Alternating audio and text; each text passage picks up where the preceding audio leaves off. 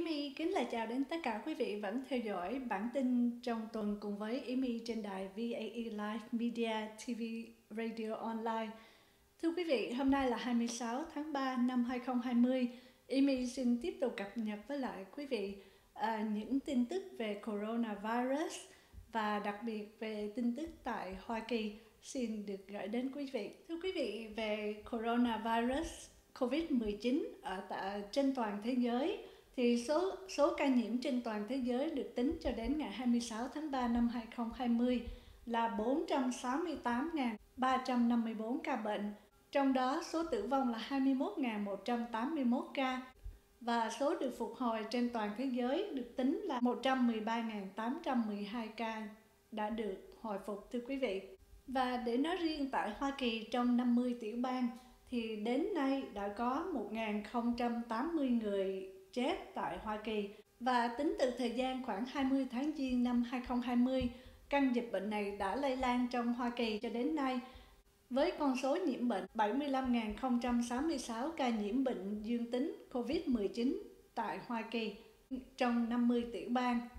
Trong đó có 1.080 người bị chết. Thưa quý vị, Amy xin được tóm tắt à, bản tin từ cộng đồng người Việt quốc gia Dallas đã đưa ra về số tiền hỗ trợ từ chính phủ trong cơn dịch coronavirus này. Với những ai đủ điều kiện nhận tiền trợ giúp từ chính phủ Mỹ do coronavirus gây ra, số tiền quý vị có thể nhận được như một phần của gói kích thích này dựa trên tổng thu nhập mà quý vị khai thuế từ năm trước năm 2018 đến 2019 nếu quý vị chưa nộp đơn, IRS sẽ dựa vào thông tin tờ khai của khai thuế 2018 của quý vị hoặc là cơ quan an sinh xã hội để mà xác định đủ điều kiện.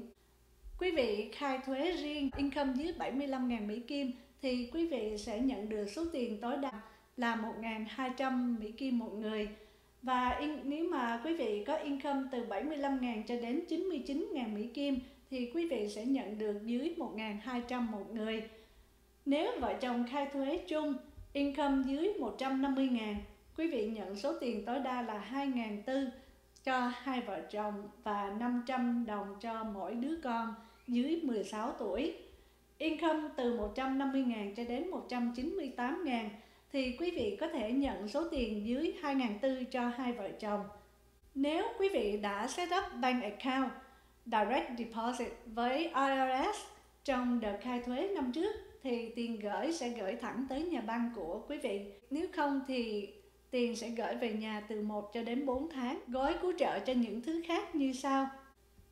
Mở rộng trợ cấp thất nghiệp, tăng thêm 600 mỗi tuần so với số tiền mà các chương trình thất nghiệp thường trả, kéo dài 4 tháng.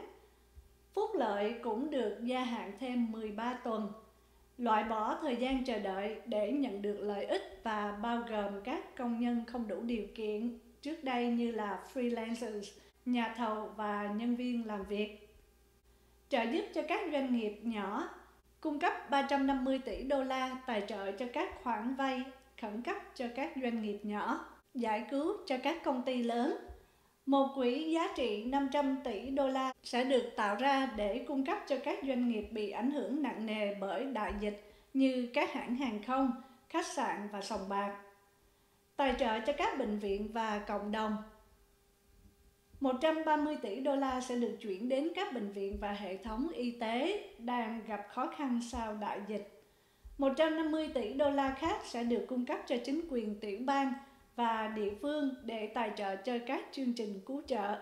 Mặc dù các chi tiết của kế hoạch vẫn chưa được hoàn thiện và bỏ phiếu, nhưng về cơ bản thì Quốc hội đã nhất trí về các điều khoản chính. Đạo luật CARES, tức The CARES Act, mà các nhà lập pháp đã dành nhiều thời gian trong những ngày qua để bàn, bao gồm khoản tiền cứu trợ trị giá 2.000 tỷ đô la. Thưa quý vị, đó là một chút tóm tắt các cái tài liệu cũng như là tin tức trong ngày 26 tháng 3 năm 2020 về đại dịch coronavirus, đặc biệt là những diễn biến cũng như là thông tin cần biết tại Hoa Kỳ. Amy sẽ trở lại với các thông tin tiếp theo. Xin cảm ơn quý vị và một lần nữa rất mong quý vị giữ sức khỏe và hãy tận hưởng những niềm vui trong những ngày này với người thân yêu nhất trong gia đình của mình. Amy xin kính chào tất cả quý vị.